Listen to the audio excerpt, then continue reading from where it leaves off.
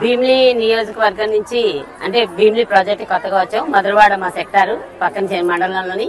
మాకేంటంటే ఈ రోజు వరకు ఇవాళ మూడో రోజు జరుగుతోంది ధర్నా. మేము అడిగింది కనీస వేతనం గ్రాడ్యుయేషన్ అడిగాము. అంతకు మించి అతను మేమేం అడగలేదు. దానికి మమ్మల్ని ఏంటంటే ఇప్పుడు సచివాలయాలు కొత్తగా ఈ రోజు వచ్చిన ఇన్ఫర్మేషన్కి సెంట్రల్ తాళాలు పగలగొట్టి వాళ్ళే ఏంటంటే నిర్వహిస్తారంట మా సెంటర్లు మా చేతి నుంచి తాళాలు ఇవ్వని బలవంతం చేస్తున్నారు. యాజ్ ఏ సూపర్వైజర్ గారి చేతుల్లో కానీ మా సిడిపోస్ పీడిఓస్ చేతుల్లో కానీ ఏమి లేదంటే అది చెప్పడానికి ఇప్పుడే మేడం వచ్చారు. మా అందరినీ ఈరోజు తాళాలు ఇచ్చేయమన్నారు.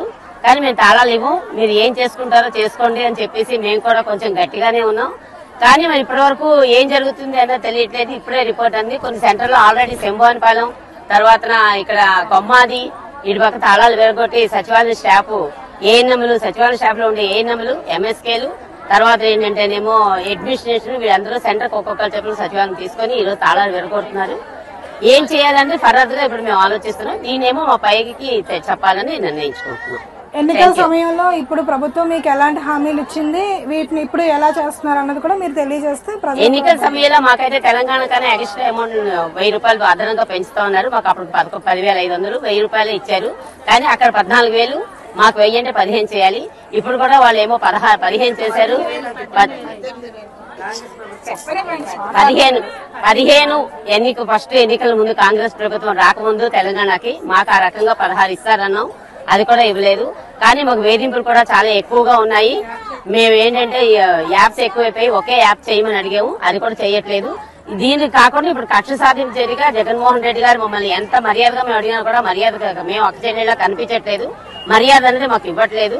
ఇలా రోడ్ల మీద తిరుగుతున్నాం. కనీసం ఇప్పటికైనా స్పందించి ఎంత ఇస్తాం అన్నది చెప్తే మేము సమయాన్ని వినిపించుకుంటాం ఇలా మమ్మల్ని దొంగలుగా చూసినట్టు మా సెంటర్లు పగలగొట్టడం అయితే మాకు నచ్చలేదు. ఇది మాత్రం ఖచ్చితంగా అతను తెలియపరచండి ఎవరు వస్తారో? వచ్చి మాకు ఏదో మేలు చేస్తుందని ఎంతో ఆశపడ్డాము.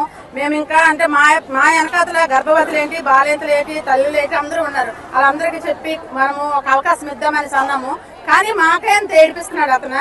ఒక అక్క మేము ఉన్నాము చేస్తామని పాదయాత్రలో కూడా మాకు హామీ ఇచ్చాడు. కానీ అతను ఏమి చెయ్యట్లేదు. మరి అంటే మరి ఇంకా ప్రభుత్వం దిగడానికి చూసుకుంటున్నాడు. ఏంటి మరి మేము మాత్రం మొదలము మాకు మాకు న్యాయం జరిగిన దాకా పోరాటం మేము ఆపము. ఏం చేసినా పర్వాలేదు. దీనికి మాత్రం తాళాలు ఇచ్చేది లేదు. ఏ అతను ఏం చేసినా మేమైతే మా దగ్గర నుంచి తాళాలు ఇచ్చేది అయితే మాత్రం లేదండి. ఇది మాత్రం ఖచ్చితంగా